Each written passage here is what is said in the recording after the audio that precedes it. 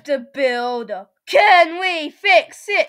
Bob the Builder. Yes, we can. So, how do you fix it? By subbing to the channel, turning on notifications so you won't miss out.